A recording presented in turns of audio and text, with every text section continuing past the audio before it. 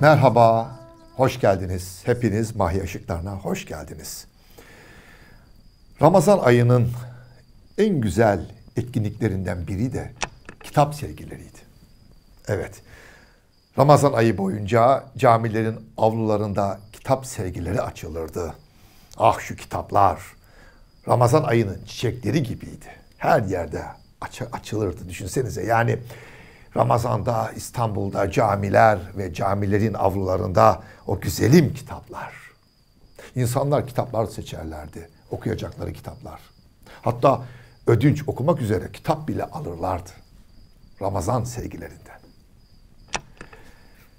Gelin şimdi biraz da sarayın bahçıvanına göz atalım. Abdülmecit dönemindeyiz. Bahçıvan Tahsin Ağa. Çok güzel bir bahçıvan. O kadar iyiydi ki Tahsin Ağa. Çiçekleri yetiştirir, onlarıyla öğrenciler gibi konuşur, sohbet ederdi. Harika bahçeler tanzim ederdi. Tahsin Ağa çok ünlüydü. Ve bir gün Tahsin Ağa'yı bahçıvanlık görevinden alıp kütüphaneye verdiler. yani müthiş bir şey değil mi? Ya düşünsenize. Tahsin Ağa, sen çok güzel bahçe düzenliyorsun. Harika işler yapıyorsun. Seni şimdi kütüphaneye veriyoruz. Bir de kitapları düzenle. Müthiş bir şey. Yani bir bahçıvanı kütüphanede görevlendirmeyi düşünmek. Müthiş. İstanbul. Güzelim İstanbul. Tahsin Ağa kütüphaneyi düzenlerken dikkat ediyor. Bazı kitaplardan iki tane var. El yazısı ya da baskı. İki kitaplar var. İki tane. Bazıları iki tane raflarda. Diyor ki ya şu kitaplardan fazla olanlarını bana verir misiniz? Ne yapacaksın? Memleketime göndereceğim. Orada bir kütüphane açmak için. 900'e yakın kitabı alıyor, develere yüklüyor ve memleketi Ürküp'e gönderiyor. Güzelim Tahsin Ağa. Orada da kümbet şeklinde bir kütüphane yaptırtıyor ve Anadolu'da bir kütüphane açıyor. Bahçıvan mı desek, kütüphaneci mi desek. O güzeller güzeli Tahsin Ağa. İşte 1943 yılında Ürgüp'e Vefa, Vefa Spor'un kalecisi geliyor. Kendisi de Ürgüplü. Mustafa Güzelgöz adında Vefa Spor'un kalecisi. O yıllarda Vefa yani tamam bugün de çok iyi bir kulüp bir şey demiyorum Vefa'ya. Laf etmedim aman efendim. Ama yani o yıllarda çok daha revaçtaydı Vefa Spor ve onun kalecisi Mustafa Güzelgöz askerliğini bitirmiş memleketine bir uğruyor.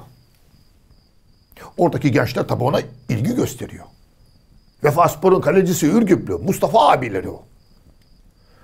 Dönemin kaymakamı diyor ki, Mustafa Bey, siz İstanbul'a dönmeyin. Burada size bir iş bulalım. Bakın bu gençler başıboş. Sizi çok seviyorlar. Onları spora yönlendirin. İşten arta kalan zamanlarınızda onları çalıştırırsınız. Bir takım kuralım. Burada kalın. Ailesinin de baskısıyla Mustafa Güzelgöz İstanbul'a geri dönmüyor. Kaymakamın ona bulduğu iş kütüphanede memurluğu. Evet, o Tahsin Ağa'nın kurduğu kütüphanede memurluk. Geliyor her gün kütüphaneye oturuyor. Vefa Spor'un kalecisi, eski Vefa Spor'un kalecisi. Gelen giden yok. Kimse kitap okumaya gelmiyor. Tamam. Mesai bitince çıkıyor. Gençlere futbol öğretiyor. Sabah yine geliyor oturuyor. Hiç kimse gelmiyor. Bir gün, bir hafta, üç hafta, dört ay. Diyor ki kendi kendine. Ben burada bu kitaplara bekçi olarak mı oturuyorum? Neden insanlar kitap okumaya gelmiyor? Bunu dert edinmeye başlıyor. Öyleyse diyor. Eğer insanlar kütüphaneye gelmiyorsa ben kitapları insanlara götürmeliyim. Tutuyor Bekir Koca adlı bir Ürgüplüyü kütüphaneye memur olarak alıyor ama bir şart. Eşeği de olacak.